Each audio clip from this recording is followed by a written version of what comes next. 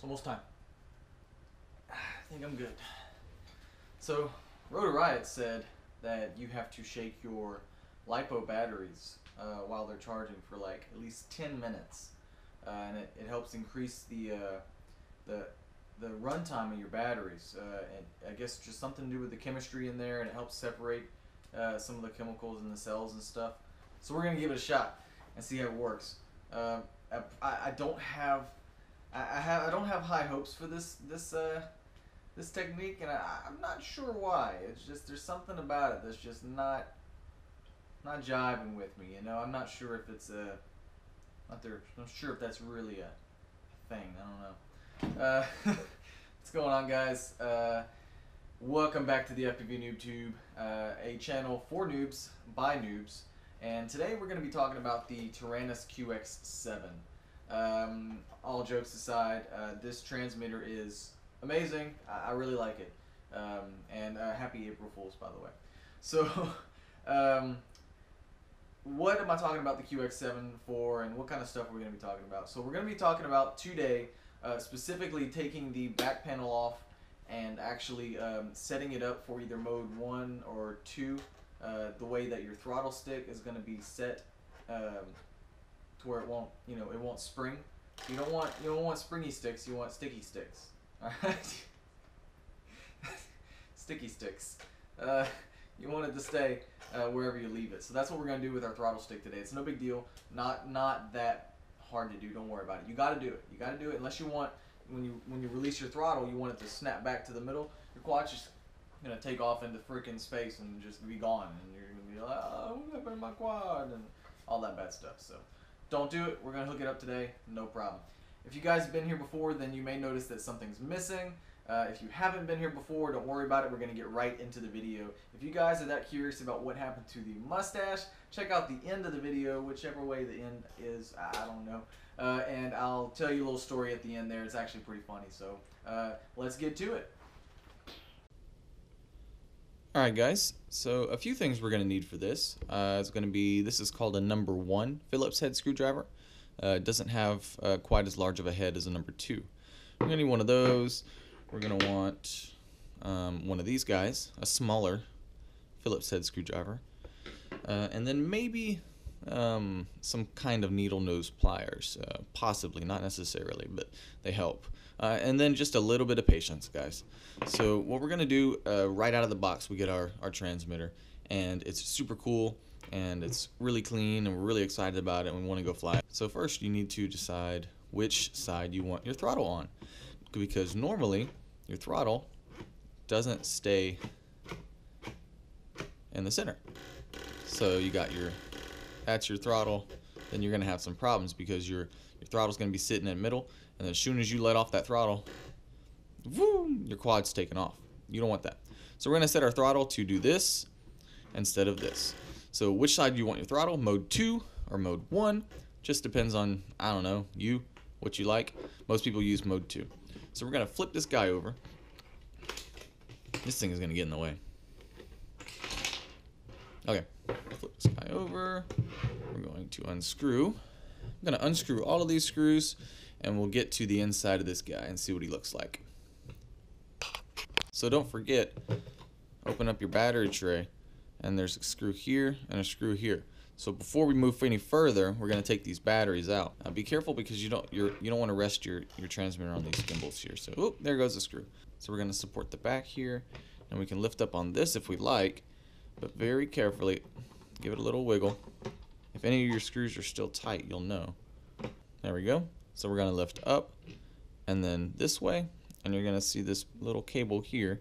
We're going to do this slowly because we don't want to pull this uh, this power cable out. This is connecting our uh, transmitter to our battery compartment here. So this is going to be pretty tricky.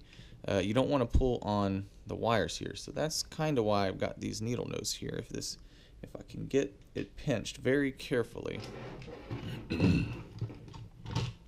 once I get it loose, I'll grab it and then I'll pull it out like that. You just want to be careful uh, not to use too aggressive of a side-to-side -side motion with these or with your fingers because you don't want to uh, dislodge this plug from the board as well.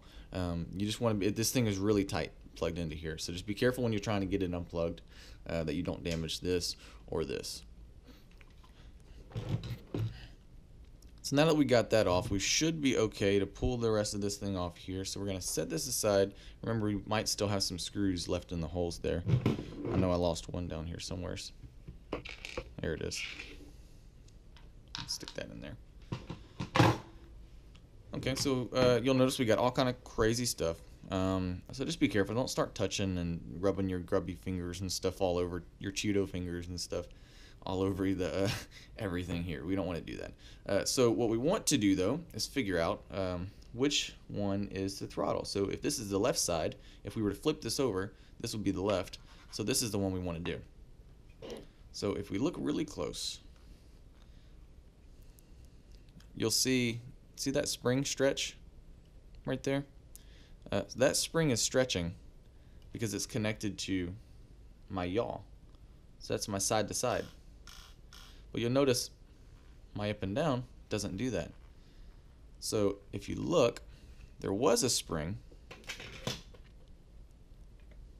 right here. So there's this spring, and there was one right here. And that spring was connected to this thing down here. Right there. So what did I do? Well, what you want to do is you want to take, and I can do it on this side, because this will be the same thing. See that spring right there? That's your up and down, and that's your left and right. All right, so your up and down spring looks like that. So what you can do is you can take something really thin, like your small screwdriver, um, or get you some needle nose pliers. So let's see if I can get a better angle here. All right, I think I got a good angle there. So um, remember this uh, spring that I'm going to be pulling off uh, is for demonstration purposes only. Uh, the one that you would want to pull off if you wanted to get your uh, your throttle set like mine would be this side here, but I've already done that. So what we're gonna do is, uh, instead of pulling it from here, you would pull it from the top right up here, but there's nothing there, see? So I'm going to take my needle nose, I'm going to grab, trying to do this with the camera, right on the edge of that spring, hold this down with my finger, pull up and over, and there it is. So if you notice, on the other side, I want to make sure nothing falls out the back here.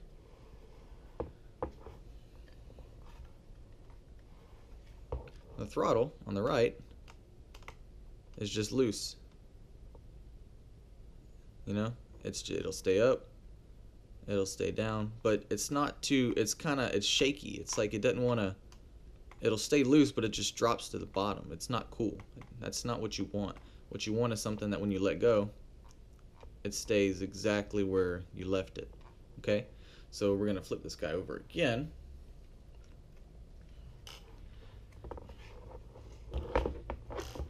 Now what I'm going to do is I'm going to go ahead and replace this spring back where I found it because I don't want this side of my uh, transmitter doing this. And I'll show you how to get your gimbal to stay like this instead of flop around like this. Okay? Okay, so I've got my spring back on here. Uh, if you did take the wrong spring off on accident, uh, I will say that if you grasp your spring with the tips of your needle nose really uh, carefully, position it in the correct uh, position to reinstall. And if you look, there's a little arm right here. That's the pivot point and the arm goes all the way down to in here and connects to this spring. If you can take your finger and you, you push down on this arm here, it'll lift it down here and that way you can get this spring tucked under that arm like so and then back on top of right here where it's supposed to go. But right now what we're worried about is making sure that our stick is going to stay where we put it. Now, uh, if you look here, we've got two options. We've got a flat option, and we've got one option with like a little little divot in there. Right here. Same thing on this side. Right here. So if you look, I've chosen to screw down this option here, uh, which has the divot. So all that means is that I took my screwdriver, and I'll show you on this one. I, I pushed, now these, gonna, these screws are going to be really tight. So uh, be careful not to strip them. Uh, but a screwdriver about this size is what I use because it fits well into the slot here. Uh, you just need to make sure not to strip that screw because uh, these screws are very tight. There we go. You screw this down a little bit at a time. That's why I said you need patience because these screws are very hard. A little bit at a time until, if you see this wheel, matter of fact, I'll show you on this one. You see that little uh, curved part? So what's going to happen is the little divot, the little dimple, is going to touch the curved part, and what you're going to get is this.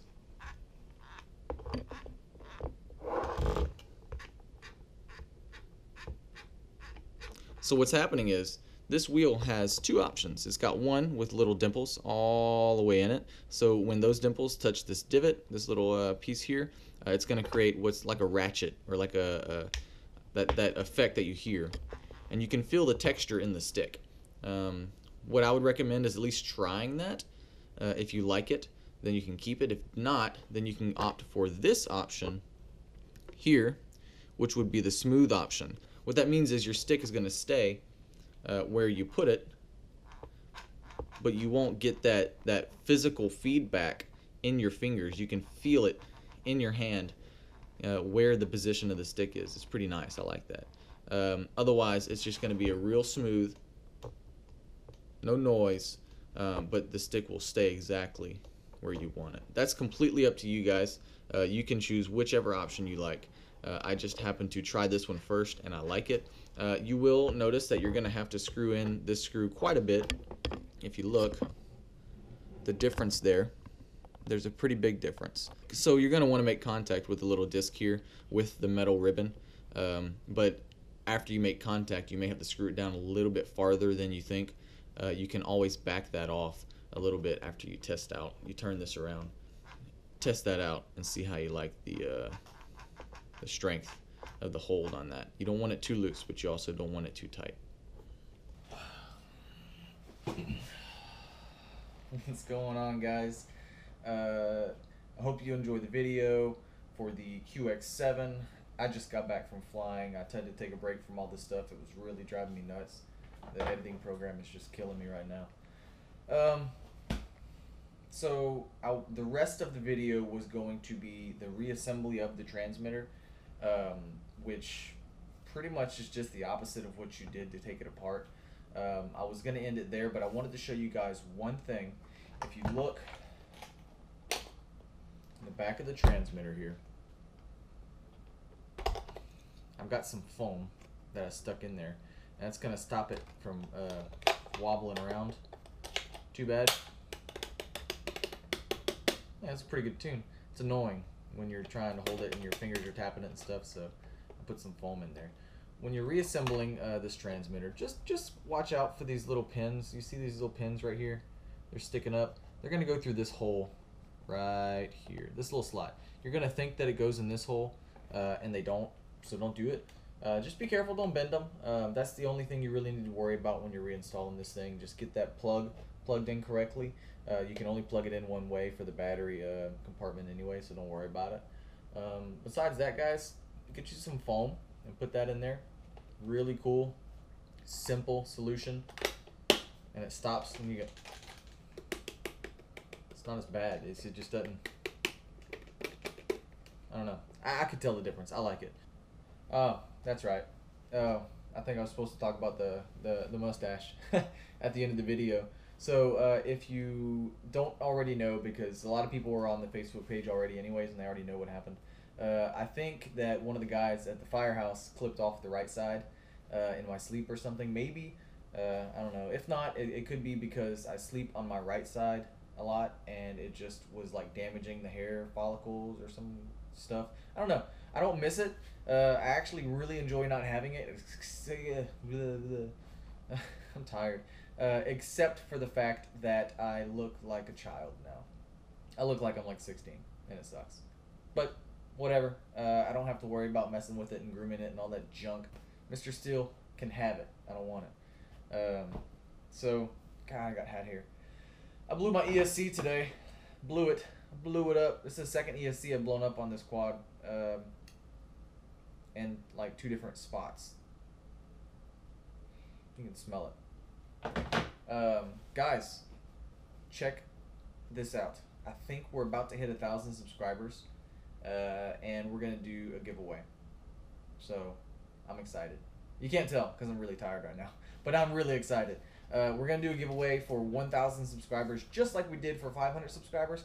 But this time it's gonna be even better because it's 1,000 subscribers, and the the prize is gonna be even better than last time. We had a Vertitech racing frame for the winner last time. Awesome, awesome giveaway prize in my opinion. Uh, I still haven't even gotten one of the, the frames that we gave away. I want to get one for myself, but this time the giveaway is going to be even better. So hope you're excited. Um, I think I'm gonna go ahead and throw a little bit of footage. It's a little bit of teaser of my uh, flight I had yesterday. Really enjoyed it, uh, so I'm just gonna throw a couple little clips in the end here. So see you guys later. Uh, make sure you like, subscribe, join the FPV NoobTube Facebook group, and then also look out for quite a few other awesome uh, FPV Noob FPV NoobTube uh, things happening here pretty soon. We got some exciting stuff coming, so stay tuned.